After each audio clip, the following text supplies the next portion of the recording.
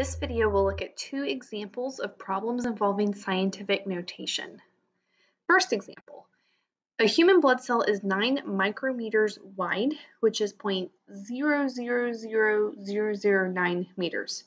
Write its size in meters in scientific notation. So we're working with the number point one, two, three, four, five zeros, and then a 9. We want to write that in scientific notation. So what we need to do is count how many places do we have to move the decimal over until our leading number is between 1 and 10. So if we count, it moves over 1, 2, 3, 4, 5, 6 spots.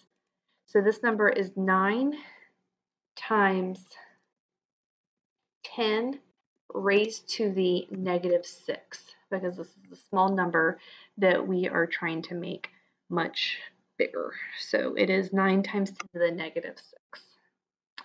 Alternately, in Excel, if you click on the number, and if you go up to this drop-down menu, we can change it to put it in scientific notation. And if you notice, Excel uses the capital E for scientific notation rather than times 10 to a power. But this still gives us the same number of 9 times 10 to the negative 6.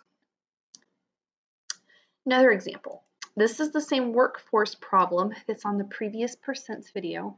It says, according to Gallup, millennials currently make up 39% of the U.S. workforce. If there are approximately 68 million millennials in the workforce, how many total people are there in the workforce? Write your answer in scientific notation. Now, we already solved the problem.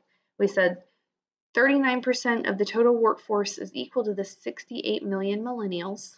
So we said that was x times 0.39 equaled 68. So we divided both sides by 0.39 to get 174.35 million, which worked out to 174,359,000.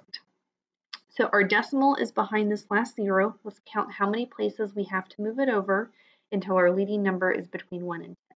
We have to move 1, 2, 3, 4, 5, 6, 7, 8. So this number is 1.74 times 10 raised to the 8.